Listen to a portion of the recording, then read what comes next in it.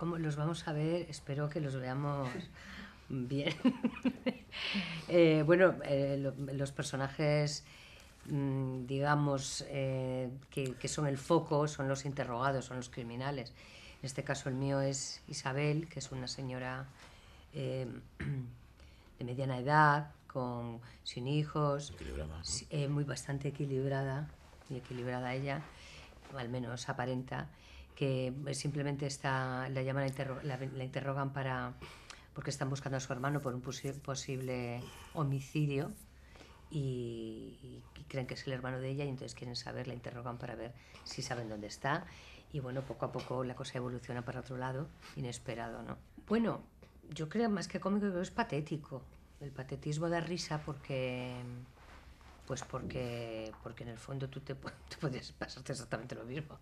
Eh, lo patético da entre risa y pena. Y yo creo que es un poco más eso, es un personaje que a mí, me, a mí en el fondo me produce mucha ternura y, y, mucha, y mucha penita. Pero bueno, no sabemos dónde está la maldad, en qué lugar la tiene, lo tiene colocado. ¿Cómo se os hace trabajar en un proyecto de envergadura internacional? Pues muy bien eh, siente muy bien, creo que es una muy buena propuesta de Netflix. Ah, yo como, más allá de como actor, que me encanta el personaje, me encanta la historia, creo que, creo que es un acierto. No sé quién lo pensó, quién fue el que lo pensó, ahora lo preguntaré, me lo dirán, ya te lo comentaré. Pero en todo caso, eh, la idea de tener un protagonista cada vez distinto, que es el, el, criminal o el sospechoso, hacer un interrogatorio, hacerlo por distintos cada, cada capítulo uno distinto y con distintos países, me parece que es una, una grandísima idea y es una serie que yo mmm, quisiera ver como espectador y quiero ver como espectador, más allá de tenerme que ver a mí, ¿no? Cosa que a, que a una a veces no le gusta especialmente verse a sí mismo, ¿no? Casi no tienes distancia. Pero creo que es una muy buena idea y, y que está muy bien. Yo lo que he visto es maravilloso.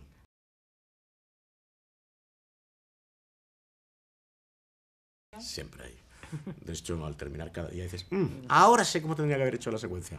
Pero con la edad te castigas menos y dices, bueno, igual está bien también.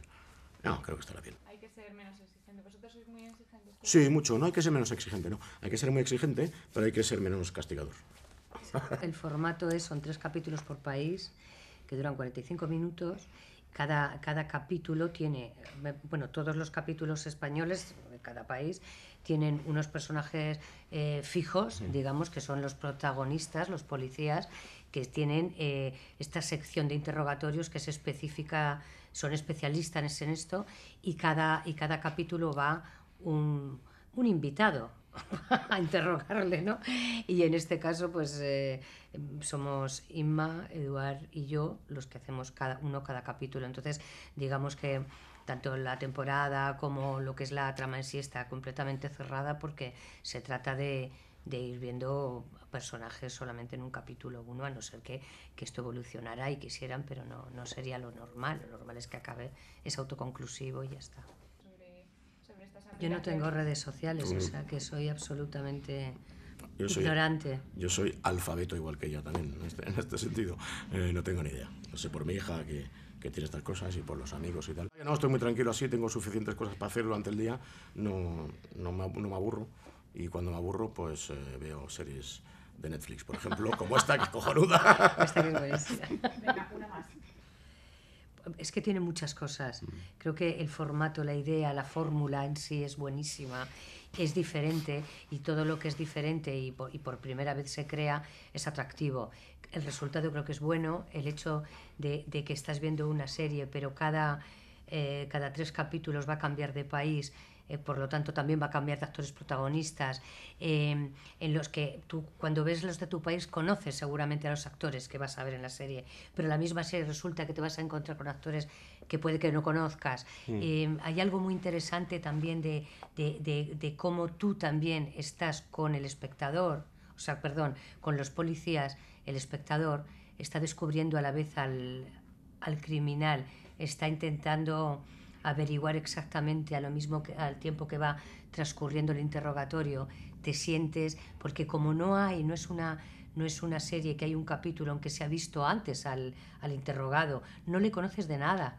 El capítulo empieza que hay una persona que está sentada en la sala de interrogatorio y el espectador lo conoce exactamente a la misma vez que los policías, más o menos y lo que solamente vas a saber de la vida de él a través del interrogatorio. A mí eso me parece chulísimo. Dependiendo de lo que quieras conseguir. Normalmente el que tiene una mente, si no criminal o, o, tiene la capacidad de mentir de esa manera cuando hay un crimen por medio, a mí me parece una persona... Mentirosa. Claro. Mentirosa. y, es, y, se supone que, que, que, tienen la capacidad de saber engañar hasta los mayores especialistas, ¿no? Y, y hacerlo dudar a ellos. Y eso es muy chulo. Los guiones son muy buenos. Mm. Hay que decir que la dirección y los guiones son extraordinarios. Y había que ponerse un poco a la altura del guion y del director.